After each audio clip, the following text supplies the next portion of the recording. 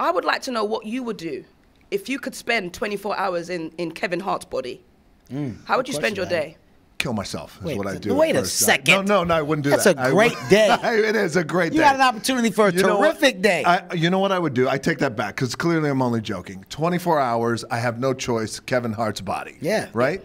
Um, I would enjoy life because he's a comedic rock star. There you go. He, you know, he entertains 20, 30, 40, 50,000 people at a Job. That's time. a great answer. Yes. He's just a, really a great dad, great husband, Yeah. Yeah. great all around. That's what I would do. That's so nice. Yeah. Yeah.